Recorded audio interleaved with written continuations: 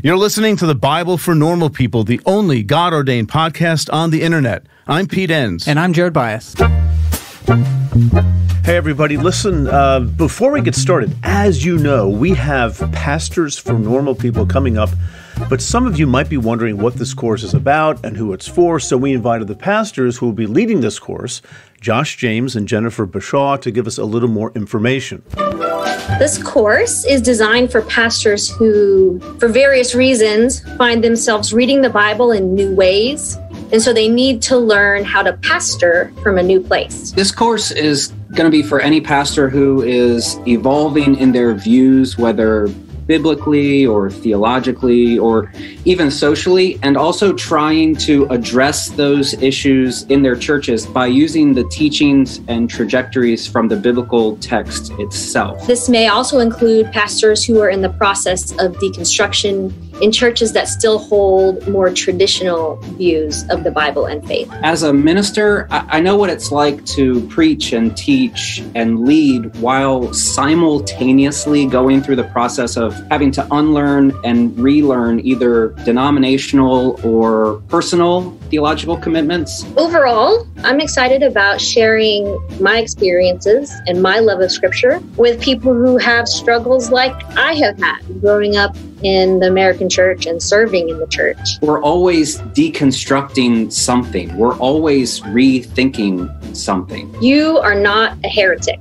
The problem is not with you. The problem is with the foundations that have been laid in American Christianity. The problem is the fundamentalist ideas that have shaped evangelicalism. Here's the good news this process of, of rethinking, of repackaging, of reimagining, it's so good and it's so freeing because it subtly reinforces the idea that we can't know it all, that certainty is, is a myth, that maybe some of our right answers that we thought we had need to be understood in, in different ways because we've had new experiences, because we've heard new voices. I'm also excited about helping pastors teach and preach the Bible from a new place with renewed purpose and renewed perspective. Our deconstructions, they allow us to really learn how to trust Jesus in our ministries. And that is so valuable and so relatable. I love the Bible. And I also love the church. It has shaped me and it has made me who I am.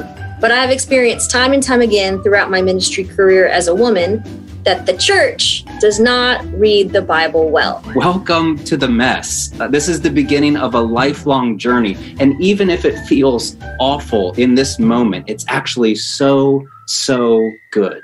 We are excited to have Jennifer and Josh leading this course. They have lots of experience as pastors and also as seminary professors who have worked with pastors. If it sounds like this course would be helpful to you, please go to thebiblefornormalpeople.com forward slash pastors to sign up. It's pay what you can, so no one will be turned away for lack of funds. So we hope to see many of you there. Okay, let's get to this week's topic. Imagine Imagine for a minute that you have a copy of the US Constitution in front of you. Let's say it's a Word document, you know, 12 point times, double space, whatever. And you're wondering whether what you have in front of you matches the original, which is a dumb question because of course it does, but bear with me. There is a way of checking. I mean, you could Google it, but if you really wanted to know, you could head on over to Washington, D.C. and match it to the original in the National Archives. Pretty cool. But Here's the thing you can't do that with the Bible. There's no original to check, not even close. So that's what we're talking about today. What do we know about where our Bible comes from? And we're going to keep this focused on the Old Testament or Hebrew Bible, as it's also called. I mean, the New Testament, that's a whole other thing, and, and maybe we'll get to that one of these days, but not today. We're focusing on the Old Testament, which was originally written in Hebrew, well, almost all of it. There is a smattering of Aramaic, which is like a close cousin to Hebrew, but that's another topic. So I want to walk us backwards from the Old Testament we have to where it began, at least as best as we can tell. And brace yourself, folks, there are some surprises along the way, and a lot that's just shrouded from our historical gaze. It is what it is. Okay, so the Old Testament doesn't work like the Constitution. where there is an original in plain sight. So, how does it work? Well, it's more like the following totally hypothetical scenario. And let's use Victor Hugo's 1862 novel Les Mis to make the point. Imagine you have a copy of Les Mis and you wonder, gee, is this accurate? Which, again, you'd never ask, but let's say you did. Now, right away, you have a bit of a problem because Les Mis was written in French and you're reading it in English. What exactly makes for an accurate translation? I mean, think about it. Translators make all sorts of decisions to try to get across the meaning of the original, and there's more than one way of producing a good translation. So that complicates things a bit. But leaving that to the side, you really just want to know if your copy of Les Mis is, let's call it, a faithful rendition of Victor Hugo's 1862 original. Okay, well, it was written in 1862. But what if, remember, this is hypothetical, what if the oldest French text of Les Mis in existence were from, say, 1950? That's as far back as you can go. That's about 90 years removed from the original. So, okay, well, you check that, and sure enough, your copy is a faithful rendering of that 1950 version. Yippee. Fantastic. But now, because you're curious and you've done some investigating, you've become aware of older bits and pieces of Les Mis, not, not whole copies, but single chapters here and there, and, and parts of chapters, and single pages, and parts of pages, and all of them written by hand. And some of these come from the 1940s 1930s, 1920s, and so forth. And the oldest of these bits and pieces, well, it goes all the way back to 1882, only 20 years removed from the original. So close, but that's as far back as you can see. You still don't really know for sure if your copy of Les Mis is a faithful translation of the original because you're not able to get back to it. Okay, but you do have bits and pieces of Les Mis that date back before 1950, all the way to 1882. What do we make of those? Well, glad you asked. There are thousands of them. Let, let's call them fragments of the book, and they're kept in a special warehouse. And you, lucky you, you've got permission to have access to them and study them. And those fragments give us some part of nearly every single one of the 365 chapters of Les Mis. Some chapters are nearly completely intact, and in some cases, specifically chapters 36, 110, and 205. Well, from them, we have two or three copies, right, of the same chapter. And this is an amazing find. We have parts of Les Mis way older than the oldest complete French copy from 1950. Hooray, yay, so happy. However, you spend a few years studying these fragments because remember, you're really motivated to find out whether your version of Les Mis matches the original. And you study this and you notice some things you hadn't expected to see. The chapters that have multiple copies, well, those copies, they don't match. Chapter 36 has, looks like three completely different versions. I mean, the topic of the chapter is the same, but in one of those versions, sentences and in some cases whole paragraphs are missing compared to the other two. And even where the sentences generally match, still, some words are just different. You know, when you lay the three versions of chapter 36 side by side, you sometimes see different spellings of the same word, like, you know, light, L I G H T or L I T E, or color with or without the U. And the three versions, judging by the handwriting, are clearly written by different people. Hmm. And then you notice something else you see patterns among those thousands of fragments, and this is huge. The kinds of quirks you see when you lay the three versions of chapter 36 side by side, well, those quirks show up in other, much smaller fragments from other parts of Les Mis. And so now you know what you need to do next. You quit your job, leave your family, and spend the next five to 10 years poring over these thousands of fragments and organizing them. Haha. See, you put the fragments in piles according to these quirks. And in due time, after several years, you've got five piles, and so it hits you like a lead pipe. These piles are not weird anomalies. They are evidence evidence of different versions of Les Mis that once existed. You've done your work, hoping to get back to one original of Les Mis, and instead it looks like you have evidence of five very old versions. And you'd think all this work would pay off and give you more clarity. You'd think that after a decade or so of work, you could answer more definitively whether your Les Mis matches the original, but no. Now, true, a little good news here. One of those five piles matches really well the 1950 French version that your English version is translated from, which is way cool because you know your copy of Les Mis is a faithful translation of something much older than the 1950 version. But, oh, there's always a but. the pile hang with me, folks, here. The pile that matches the 1950 version, remember one of those five piles, the one that matches the 1950 version, the fragments in that pile, hmm, they only go back to 1890. Pretty good, but not very far back. At least one other pile goes back to 1885. So, the oldest complete copy of Les Mis in French from 1950 well, that goes back to a very old French version, but by no means can we claim it to be the original. Frankly, it's really impossible to tell which of those five piles, if any, is the original. The only thing you have going for you is that the other four piles, for whatever reason, fell out of use. It's only the 1890 pile that made it to 1950 intact.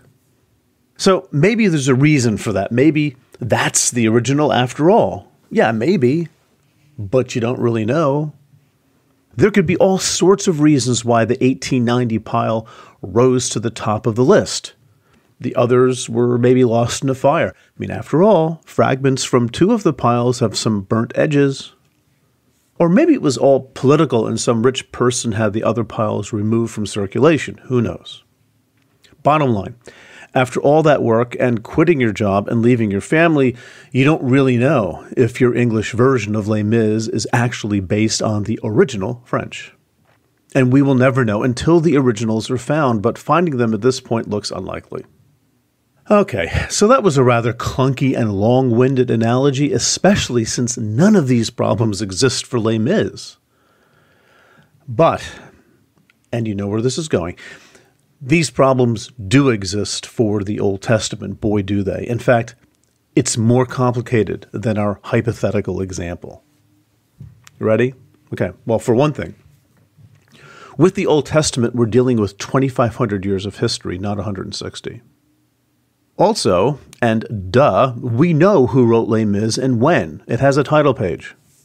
But with the Bible, we really don't know who wrote the individual books or when. The Old Testament books are anonymous and undated. I mean, there are clues in the Old Testament books that allow scholars to make some really good judgments about, like, generally when they were written. This is likely written before the Babylonian exile or after, or within decades of such and such a century, something like that. But the books of the Old Testament don't come with title pages. We're on our own. So, with all this Les Mis business in mind, let's let's do a brisk walk backwards from the Old Testament we have today and see how far back we can go. Full disclosure, so you don't get mad at me later. But you've already sensed this. We can go back pretty far, but not nearly to the beginning. And the further back we go, just like the Les Mis fragments, the more messy it gets.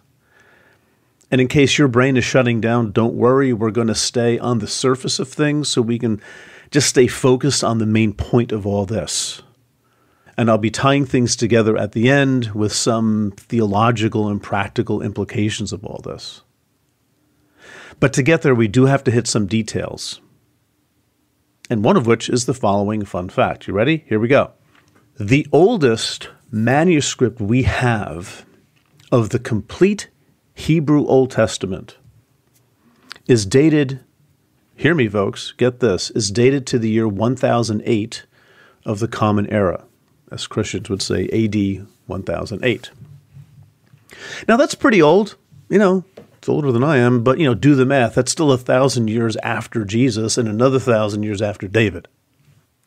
Anyway, this, this complete copy is housed in the Russian National Library, of all places, in what is called Leningrad, at least up until 1991. Now it's St. Petersburg after the fall of communism, but let's call it L for short for Leningrad, which is how it's referenced uh, among biblical scholars. Now, we do have a slightly older manuscript. It's dated to 930, but it's incomplete. Around 40% of the Old Testament's missing. Not really sure why. It could have been a fire, it could have been stolen. So there's that. And, you know, a lot has happened in the last century in our knowledge of the ancient Hebrew of the Old Testament, and some of which we'll get to in a minute.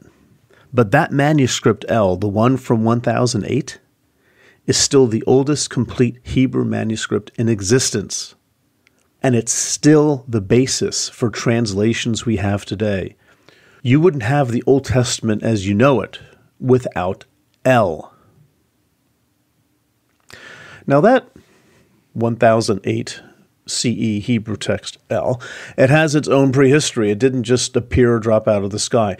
It was the product of the labors of a group of medieval Jewish scribes called Masoretes. Now we're going further back in history, right?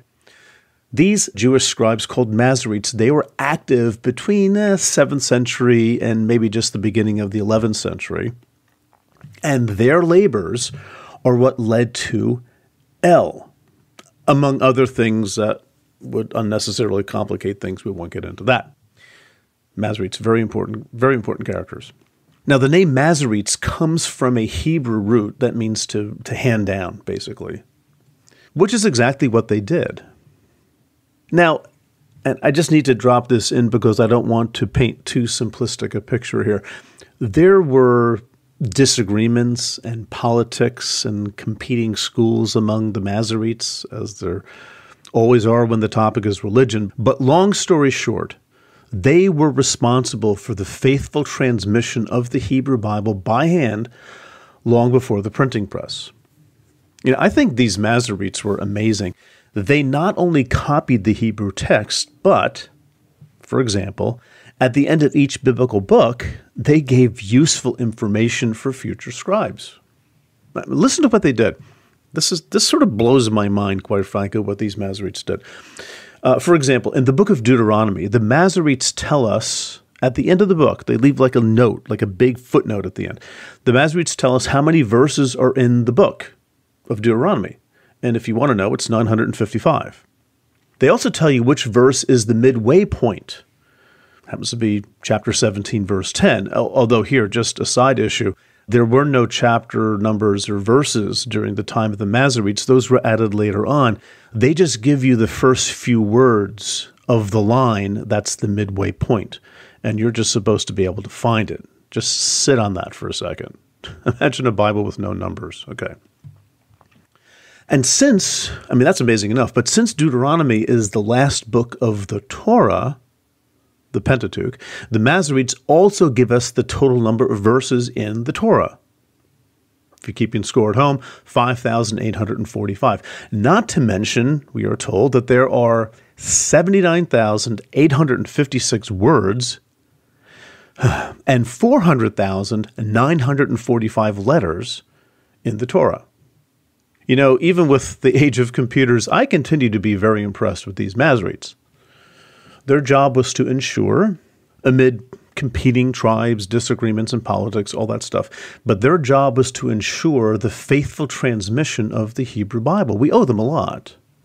So let's pause here for a second. If the Masoretes were about preserving the Hebrew Old Testament, And if they started their activity no later than the 7th century, well, that probably means that what they were preserving was already older.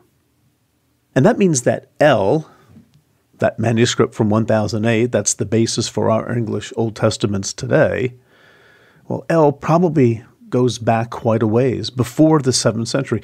In fact, there is evidence for Masoretic activity, copying and things like that, as early as the 5th century. See, it looks like the roots of L go back pretty far. But how far? Here's where things begin to get more interesting and maybe a bit more congested, but we need to touch on something that seems a little off topic, but it definitely isn't. Okay, L, to repeat, is the oldest version of the complete Hebrew Bible dated to 1008. But there are earlier complete Old Testaments. They just happen not to be written in Hebrew, they're written in Greek. Specifically, we have two Greek manuscripts of the fourth century that contain the entire Bible. They actually contain the New Testament too, because these are these are Christian manuscripts. Which is amazing. We're back now to the fourth century, the 300s, right? Now, of course, these are obviously translations of the Hebrew, which means they are not really going to help us with the original, but this is still the kind of thing that makes textual scholars totally nerd out. See, these complete Greek Bibles, they still take us back about 650 years before L. That's just too tempting to let go. And here's why textual scholars positively perk up. True, these are Greek manuscripts, but you know, we're clever people. We know a lot about ancient Hebrew and Greek. It's our life. It, you know, it might be possible to figure out in something like reverse engineering, to figure out from the Greek, working backwards to what the underlying Hebrew was. It's a long shot. But if you're trying to get back to the original Hebrew Old Testament, you work with what you've got.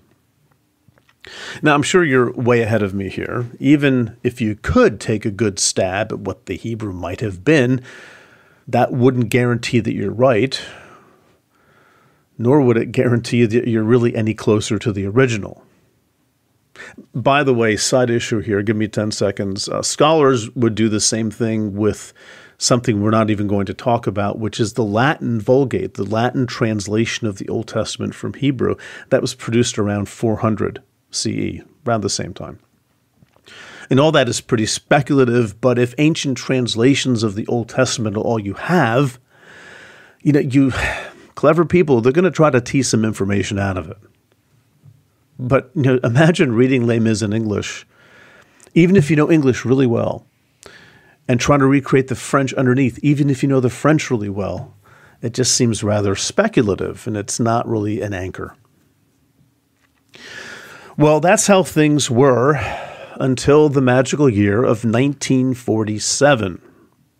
We have to go forward in time before we go further backward in time. What happened in 1947? Well, not only was this the year that Jackie Robinson broke the color barrier in Major League Baseball, but it was also the year the famous Dead Sea Scrolls were accidentally discovered near the Dead Sea in Israel by a shepherd who apparently threw a rock into a cave trying to get his goats to come out or something like that. He heard a smash in the cave. He went in to investigate and he saw some amazingly preserved scrolls that were kept in these huge clay pots. And the rest is history. And anyone who goes to seminary or graduate school has to learn about them. Now, the Dead Sea Scrolls were an earth shattering discovery for a number of reasons, and one of which has to do directly with the search for the Hebrew originals. And here it is. Found among these scrolls were a ton of Hebrew biblical manuscripts from every book of the Old Testament except the book of Esther. And, and people generally think it's probably because Esther doesn't mention God. So it just wasn't part of the, the, their collection of books. So a ton of manuscripts. And by a ton, I mean almost a thousand manuscripts. And in one cave, were found 15,000 fragments.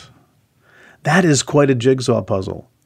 And these manuscripts predate L by about 1,000 to 1,200 years. Yeah, they take us back to about the second century before Christ. You know, in one single bound, we're back two centuries before Jesus. So, yay, Dead Sea Scrolls. Eh, while I'm at it, slight side issue here. Give me five seconds. Um, I mentioned Esther. The fact that it's missing from the Dead Sea Scrolls for whatever reason suggests that the final canon, the the authorized collection of official books that sort of we have in our Bibles, that canon might not have existed yet. But again, that's that's another topic. Still interesting.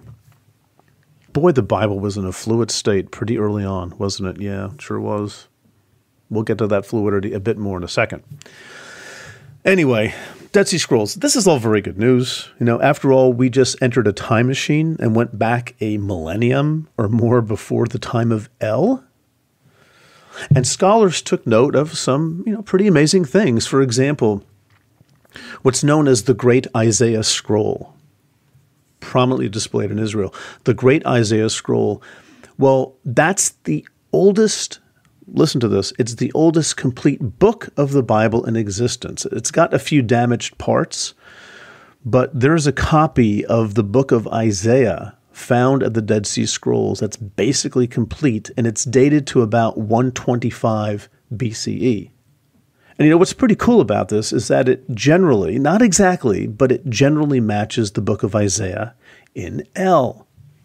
All 66 chapters are there and in the same order. It's wonderful. But there are differences too between Dead Sea Scroll Isaiah and the L version. Those differences are also important.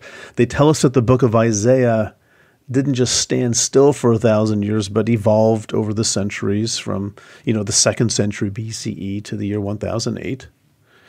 And the ins and outs of that evolution, you know, that's the real nerdy, heady stuff. We don't need to be talking about that. But the bottom line is this yes, the Dead Sea Scroll Isaiah is an older predecessor of L Isaiah. Not exactly, but pretty good considering the centuries. Okay, well, you know, seeing as we now have a much older version of Isaiah thanks to the Dead Sea Scrolls, why don't we just scrap L and do a reboot? You know, make Dead Sea Scroll Isaiah the basis for our English Isaiahs today, and keep L for all the other books that we don't have full copies for from the Dead Sea Scrolls. Of course, I appreciate the enthusiasm, but not so fast. Why not so fast? Because, folks, this is where it gets really crazy. Because there is evidence among the Dead Sea Scrolls, chunks here, bits and pieces there, of other Hebrew versions of Isaiah and some of those chunks and pieces are in places actually closer to L than that complete version of Isaiah I just mentioned. You know, I feel the need to stop here just for a second, take a break, hydrate, do some breathing exercises. This is a lot to take in, I know.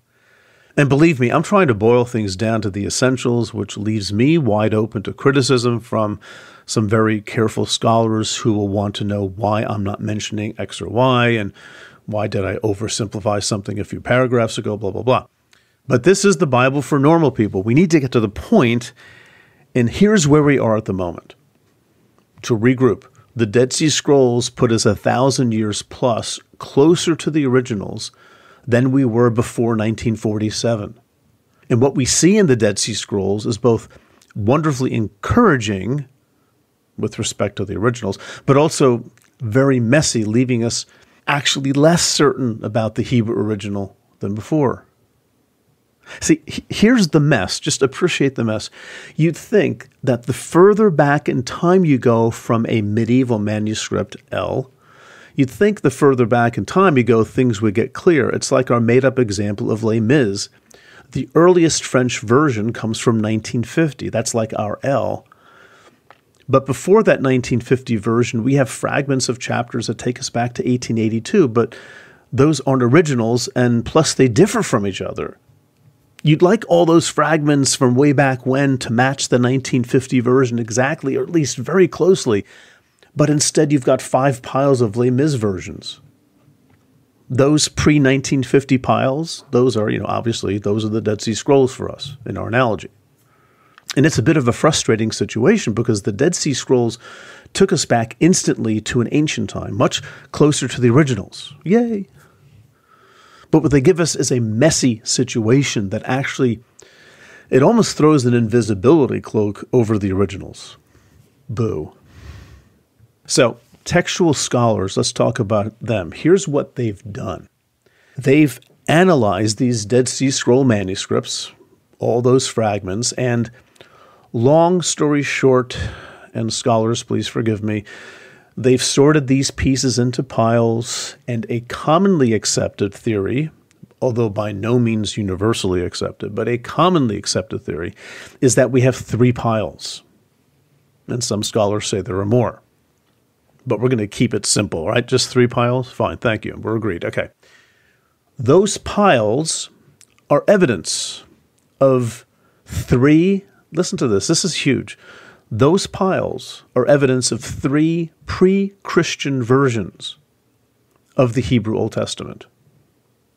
now, to anticipate where this is going later on, I think there are spiritual and theological lessons to be learned from this messy early history of the Old Testament. We'll get to that. We have to finish this Dead Sea Scrolls story first. Okay, we'll get there. Okay, anyway, I mentioned three Hebrew Old Testament versions in the Dead Sea Scrolls. One of them is the version that is basically consistent with L. Another one of those versions is very important for us if we want to talk about the original. And it deals with the book of Jeremiah. This is where I'm adding, like, there's a real complexity here we've got to talk about if we want to talk about the originals, right? So just, this is not a digression, folks. Just hang with me here.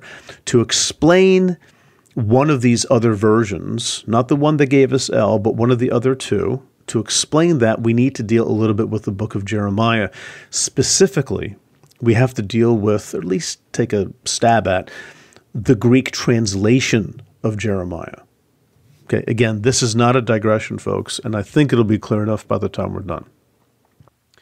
See, here's what happened. Years before the Dead Sea Scrolls, in the fourth century, around 332 BCE, uh, the Greek king Alexander the Great, pretty well known, he more or less took over the world, or at least those parts of it, from his homeland, and then moving far to the east into what are modern day Iraq, Iran, like Pakistan, Afghanistan.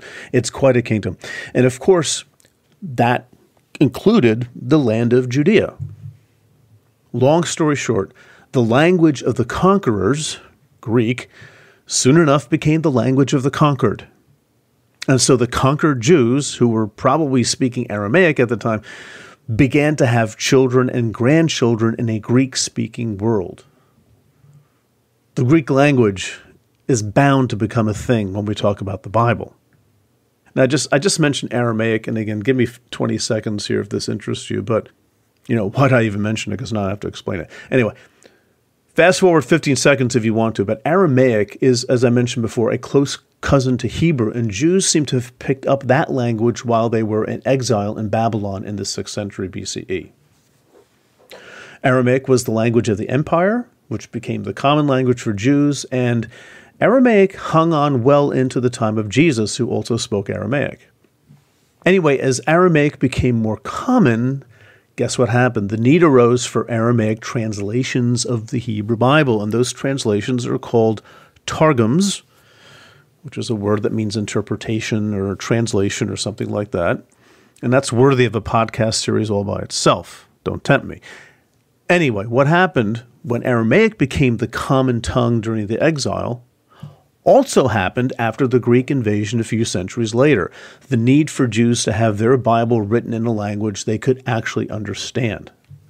And I'll bet I'm bringing this up because I'll bet some of you have experienced something similar. Maybe some of you have. I know I have. My parents were German immigrants, and we communicated in German the first few years of my life. But when I started school and got encultured, I used German less and less. English became my dominant language.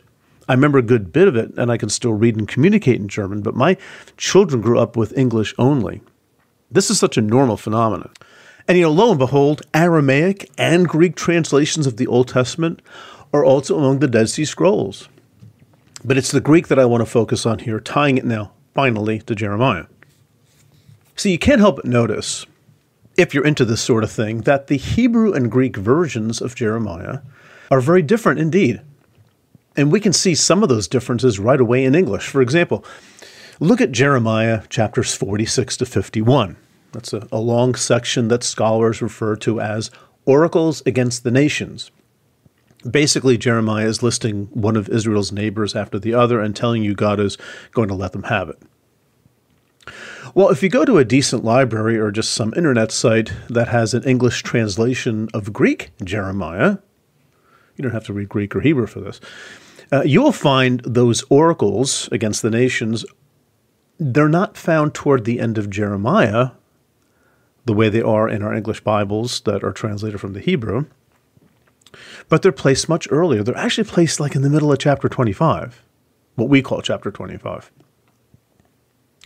Also, the Greek Jeremiah isn't just in a different order, but it's shorter. It's considerably shorter. It's about one eighth shorter, which is about 2,700 words. Okay, it's, it's the same basic book, just shorter and rearranged. But why? You know, why do we have these differences in the Hebrew Jeremiah and the Greek Jeremiah? What explains these very significant differences? Well, here's the logical explanation, and that held for a long time, and maybe this is the first place you're going as you're thinking through this. Possibly the Greek translator of Hebrew Jeremiah just screwed up maybe he had a late night, wasn't very good at his job or whatever. He just mistakenly left a lot out and moved one huge section someplace else. Oops, my bad. Or maybe he wasn't plastered or incompetent. Maybe he just felt like doing it. He had reasons for it made more sense to him to put things over here, to leave some words out, blah, blah, blah. He just sort of made changes because he decided to interesting, and that's a rather logical. I mean, that's what I would go with if we didn't know better. See, the Dead Sea Scrolls tell another story, and now we're really getting to the point. See, it's not that the Greek translator did a bad job of following the Hebrew version or just decided to mix things up. Rather, the Greek translator of Jeremiah, here we are, folks, ready?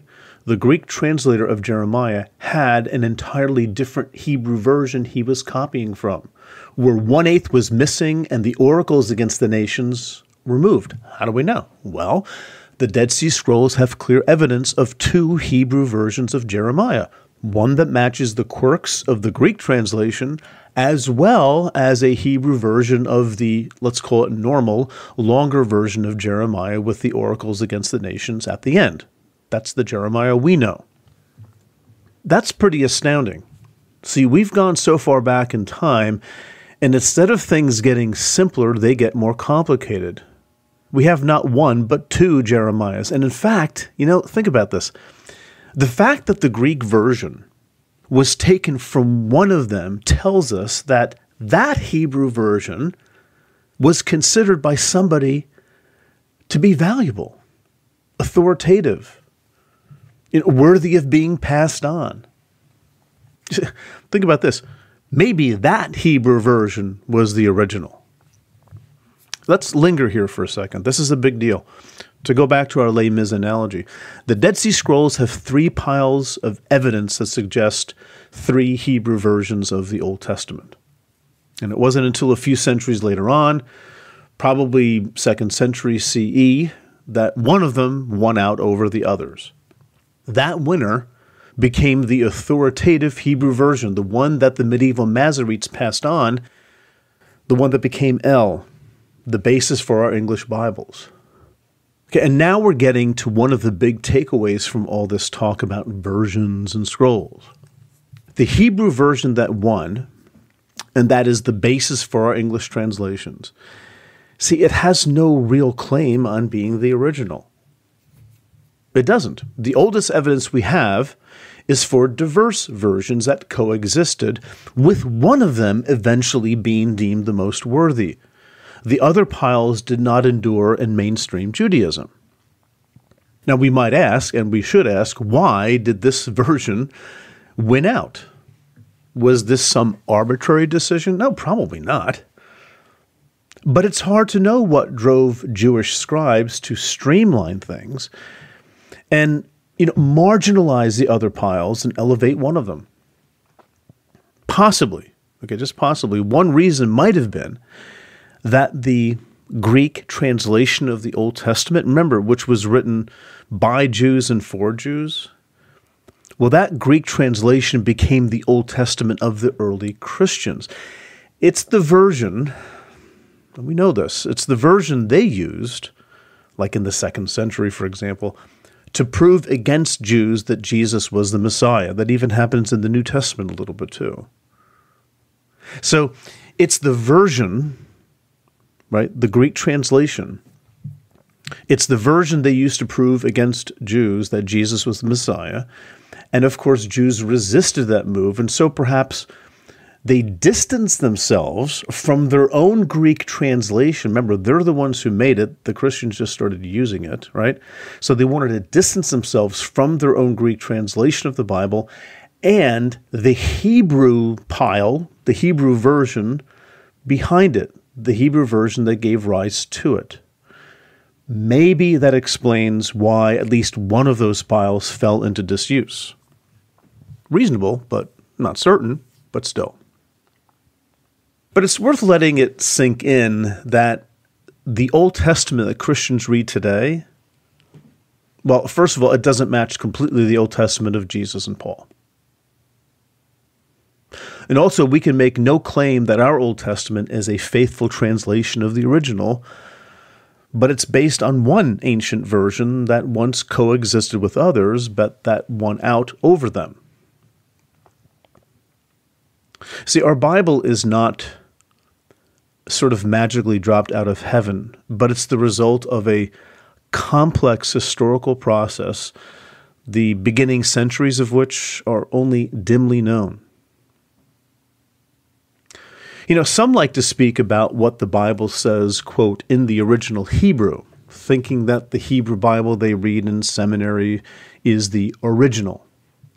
But we don't have originals. The earliest evidence we have is diversity with no original insight. And the Hebrew Old Testament, we might want to call the original Hebrew, is it's actually the work of Jewish tradition and then later medieval Jewish scribes. If we were to look at the Old Testament, Jesus was using Greek or Hebrew or Aramaic or whatever it wouldn't really match exactly what we have today. Okay, so let's draw this to a close, and I want to do so by revisiting what I mentioned earlier the Greek translation of the Hebrew Old Testament. This was a big moment in the early history of the Bible. See, the Greek, the Greek arose out of a need because the language of Judaism was shifting. But translating the Hebrew into Greek wasn't governed by like a central translation office or anything like that. The Dead Sea Scrolls paint a different picture, similar to what we saw with the Hebrew. There is no one original. We can't point to a moment in time and say, oh, here is where the Hebrew was translated into Greek in this one time in this one place. Evidence of multiple Greek versions also exist among the Dead Sea Scrolls. That diversity still existed in Jesus' day, and it wasn't streamlined for quite some time. Now, here's my point it has always struck me that the Bible, right, what we call the Old Testament, that the Bible, the New Testament writers use, what they read, what they quoted from, it's always struck me that this was a Greek translation and maybe using more than one version of the Greek. See, the Greek translation was hardly perfect. It had its own messy history. And so it strikes me for Christians, you know, the climax of the biblical story, Jesus of Nazareth, which relies so heavily on the story of Israel in the Old Testament, at that climactic moment in history, we have not only no inerrant original text, but we're working with a translation with a messy history based on a Hebrew tradition with its own messy history. One implication of understanding the history of the Hebrew and Greek Old Testaments is that it sort of takes the wind out of the sails of biblical inerrancy, specifically in the following way. Biblical inerrantists will generally recognize that the Bible they have is a translation and therefore can't be held to the standard of being inerrant in and of itself. So it's very common for biblical inerrantists to punt, if I may put it that way, and say something like, well, the Bible is still inerrant, but in the original autographs. That's how it's usually put. Meaning what the original author wrote down is inerrant, even if our translations aren't. Now, I'm not just picking on a minor point to start a fight. This idea is baked into the intellectual script of evangelicalism and fundamentalism.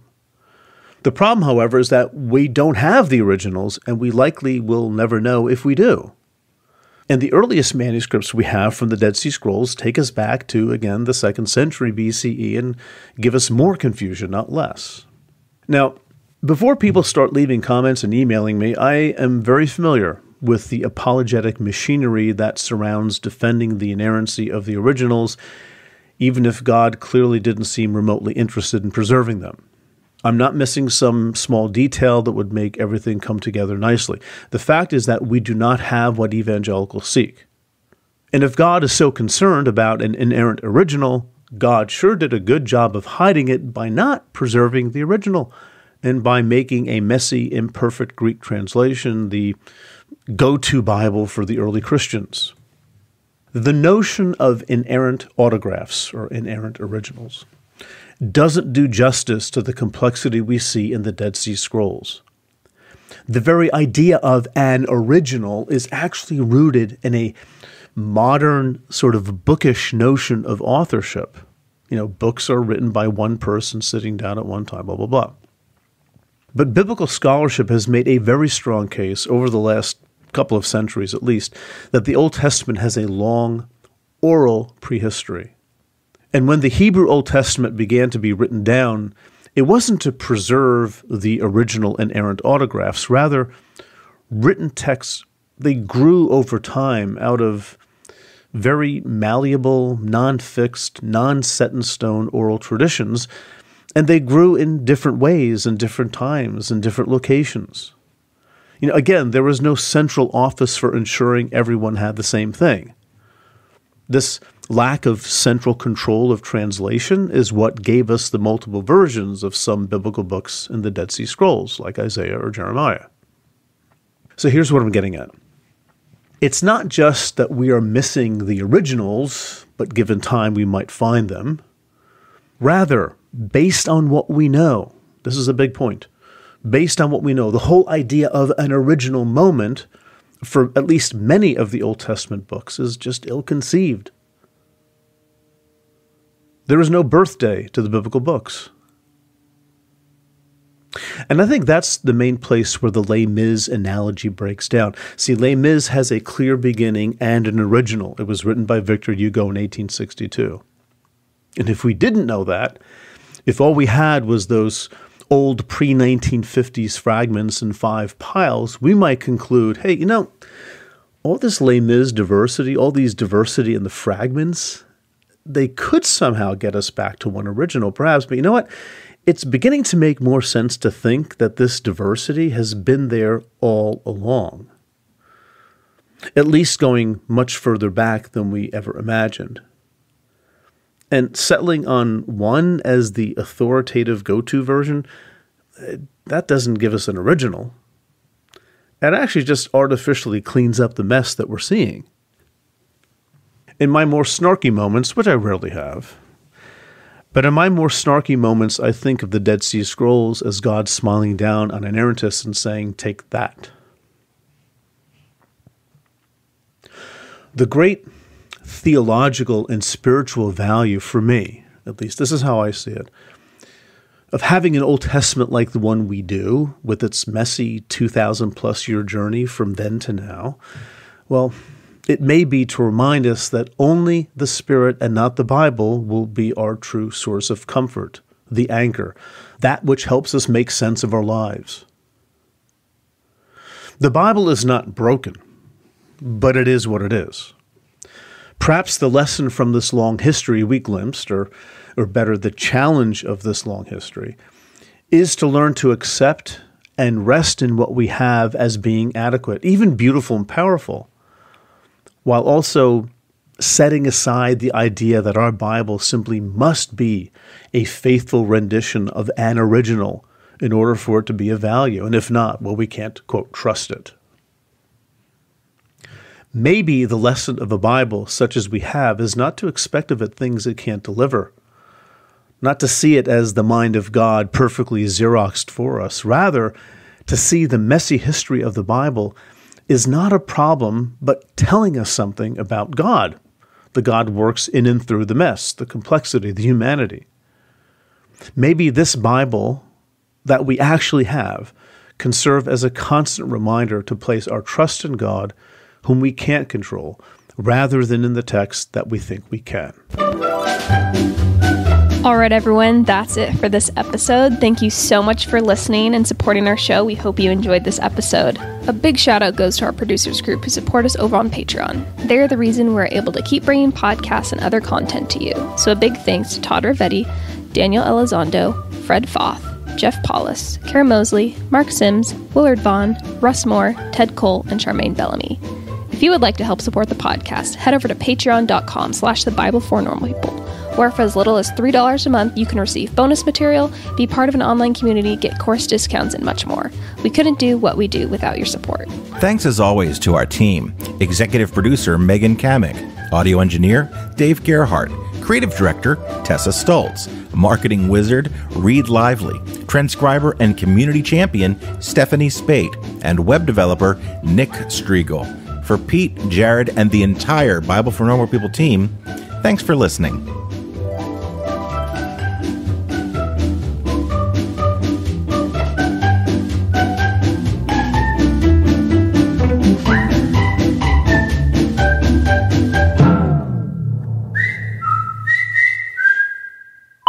Imagine, imagine for a minute that you have a copy of the U.S. Constitution in front of you.